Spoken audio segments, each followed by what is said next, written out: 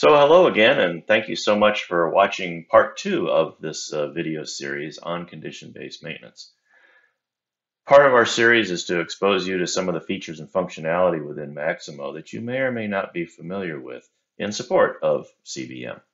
So my name is John Q. Todd. I'm one of the senior business consultants and product researchers here at TRM. I'll be your guide for the next few minutes. Let's start part two. Very quickly about total resource management. We've been implementing Maximo for almost 30 years now in just about every industry you can think of. We're also an ISO 27001 registered cloud host. So let's get going with part two. Part one was a quick look at meters and measurement points, something you probably already know about. We'll take a look at some of the newer tools that are in the system in this part here. So there's a lot to talk about, so let's linger just a little bit. You already know that users can update meter readings directly on the meter defined to the asset or location. This would be performed by way of the Asset or Locations application. Not the most desired method, but it is simply built in. Another method is by way of a work order. Much the same way, a user can enter a meter reading on a meter associated with an asset or location that is related to the work order. If the equipment is in for service, a job task could be to capture the relevant meter readings. Work orders could also be issued for the sole purpose of capturing meter readings. But with the advent of inspection forms in Maximo, and of course Manage, we have another tool available. So let's take a look at them. Inspection forms can be built to capture a wide variety of information about your assets and locations. Think of them as a checklist for your teams to follow and capture conditions, meter readings, and other information that you can then use for decision making.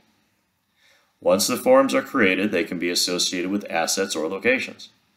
They can be triggered by a PM definition as part of a job plan or on a work order directly. They can also be on route stops. Inspection forms can be done in an unscheduled or unplanned fashion as well. No matter what triggered their use, the inspection form and its results appear under the work history of an asset or location. The key here is the ability to capture meter readings on the inspection form, yet another way to get meter readings updated. Taking another step back, this time to address the automatic meter reading updates. There's now an additional way to do that. As you know, Maximo has several methods available to interface with external systems for data.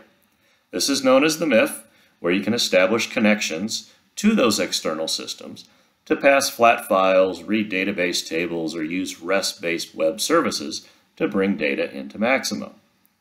Your Maximo may already be interfacing with an accounting system, a purchasing system, using one or more of these methods.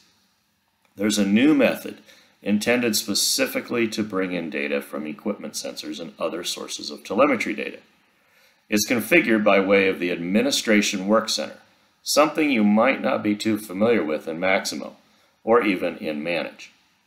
Once there, you point your Maximo to the IoT platform, of which IBM provides in the cloud, or if you're running Application Suite Manage, it's in that instance already. Then you map the devices defined in IoT to your assets and the meters in Maximo. Activate the connection and now your meters are receiving real data directly from the source of equipment telemetry. So to wrap this up and get you on your way to piloting this approach, let's review a little bit about what we've learned. Updating meter readings are key to the success of your CBM system. They can be done manually, a number of different ways, or automatically via several different technical methods. Making the associations between assets or locations, PM definitions, and meters is easy. Equally easy is setting up measurement points and establishing actions that happen when a threshold is ex exceeded. You may quickly find how valuable all of this meter reading data is to your overall view of the health of your equipment. So that's the end of part two. Thank you so much for watching both part one and part two with us. You can always contact us at trmnet.com. That's trmnet.com. And you can always find me on LinkedIn. Enjoy the rest of your day.